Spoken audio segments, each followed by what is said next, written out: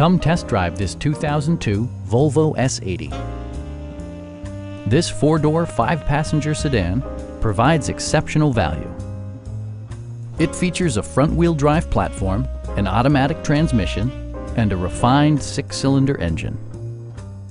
Volvo infused the interior with top-shelf amenities such as leather upholstery, variably intermittent wipers, power door mirrors and heated door mirrors, remote keyless entry, and power front seats.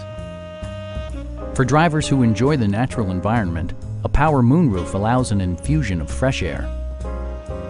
Volvo also prioritized safety and security by including dual front impact airbags, head curtain airbags, traction control, anti-whiplash front head restraints, a security system, and four-wheel disc brakes with ABS. This car was designed with safety in mind, allowing you to drive with even greater assurance. Please don't hesitate to give us a call